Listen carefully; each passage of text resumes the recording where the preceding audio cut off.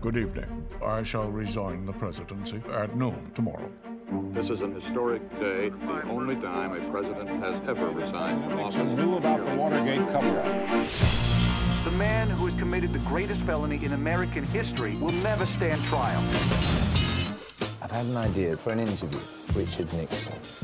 You're a talk show host. I spent yesterday watching you interview the Bee Gees. Weren't they terrific? Why would I want to talk to David Frost? I got half a million dollars. Really? Frost has hired three crack investigators. Can I be crack one? Can I be deep crack? Can I shake his hand? After everything he's done in this country? Are you kidding me? Ah, pleasure to meet you. Mr. President. That was devastating. I mean, I don't think he's ever going to get over that. Frost is just not in your class, sir. You're going to be able to rebuild your reputation. This entire project is a joke. I do hope that isn't coming out of your own pocket.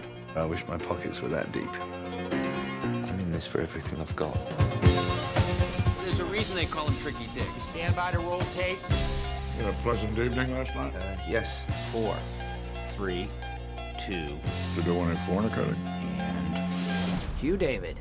Uh, The American people need a conviction.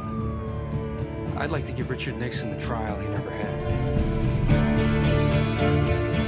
Democracy depends on it. We're not gonna let that happen. We're gonna make them choke on power and glory. why didn't you burn the tapes? I didn't want to take any questions on Watergate. shut it down. I will ruin you if it takes the rest of my life. What have I done? If in this interview Nixon exonerates himself, Four. that would be the worst crime of all. Three, two, Hugh David.